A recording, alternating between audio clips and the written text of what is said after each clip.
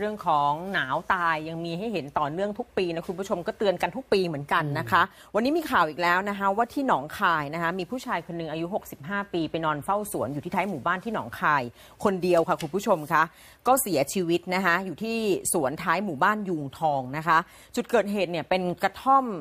กระท่อมนาท้ายหมู่บ้านนะคะพบศพของนายสำเนียงนนทพจน์ อายุ 65 ปี สวมกางเกงชั้นในอยู่ตัวเดียวนะคะ นอนเสียชีวิตอยู่ระหว่างทางจากกระท่อมไปยังห้องน้ำจริงๆ แล้วเขาก็ใส่ตอนที่ที่ไปพบศพเนี่ยใส่เสื้อแขนยาวอยู่นะ แต่ไม่รู้ว่าอาจจะอากาศหนาวจัดในคุณธีรวัตรนะ แล้วก็สุดท้ายเนี่ยเสียชีวิตนะคะคือตามร่างกายเนี่ยไม่มีร่องรอยของการถูกทำร้ายหรือว่าต่อสู้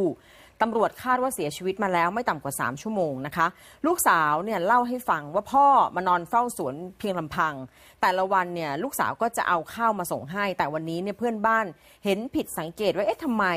ในกระท่อมยังเปิดไฟอยู่ ก็เลยเดินมาดูค่ะ ปรากฏว่านายสำเนียงเนี่ยนอนเสียชีวิตแล้วญาติไม่ติดใจสาเหตุการเสียชีวิตนะคะ เบื้องต้นคาดว่าเสื้อผ้าที่สวมใส่ อาจจะไม่เพียงพอ เพราะว่าอากาศมันหนาวมากตอนนี้คุณผู้ชมคะ และระหว่างที่นายสำเนียงเดินเข้าห้องน้ำเนี่ยอาจจะเกิดการช็อกได้นะคะจากอากาศที่มันหนาวเย็น หัวใจอาจจะวายฉับพลัน โดยที่ไม่มีใครเห็นนะคะ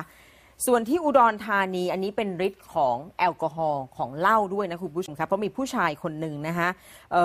เอ่อเรียกว่าดื่มเหล้าคลายหนาว อันนี้เป็นข้ออ้างหรือเปล่าไม่ทราบนะ แต่ว่าเพราะว่าตามข้อมูลจริง ๆ แล้วเนี่ยครอบครัวบอกก็ติดเหล้าอะครับ กินเหล้ามาโดยตลอดนะคุณผู้ชมนะ สุดท้ายแล้วเนี่ยนะคะกระเพาะทะลุเสียชีวิตนะคะ ทางตำรวจเนี่ยได้รับแจ้งมาค่ะว่ามีคนนอนเสียชีวิตอยู่ในรถบรรทุก 6 ล้อคันหนึ่งนะคะรถคันนี้เนี่ยท้ายกระบะบรรทุกอ้อยเต็มคันรถนะคะ แล้วไปพบศพค่ะอยู่ที่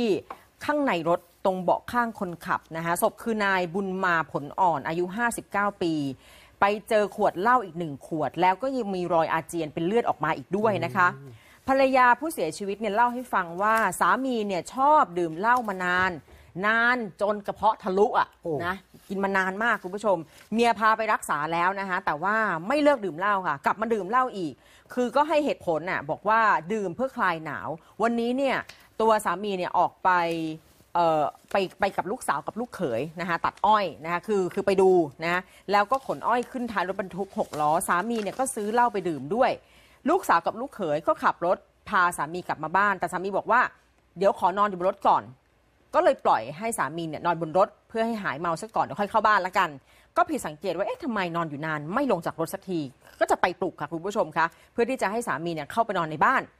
ตอนแรกก็เรียกลงมาลงมาจากรถเร็วแต่ก็เงียบ ไม่ขยับตัวเลยนะ ก็เลยเดินเข้าไปเปิดประตู ปรากฏว่าที่เห็นคือสามีเสียชีวิตแล้วค่ะ คุณหมอเนี่ยชันสูตรพลิกศพนะคะปรากฏว่ามีอาเจียนเป็นเลือดออกมา เพราะว่ากระเพาะทะลุดื่มเหล้ามาก ญาติเนี่ยเคยพาไปรักษาจนหาย แต่ก็ยังกลับมาดื่มอีกกระเพาะก็เลยทะลุอีกนะคะคาดการณ์ว่าจะเสียชีวิตมาไม่ต่ำกว่า 2 ชั่วโมงนะคะ ญาติก็ไมาติดใจสาเหตุการเสียชีวิต ตอนนี้ก็ได้นำศพไปบำเพ็ญกุศลตามประเพณีต่อไปแล้วนะคะ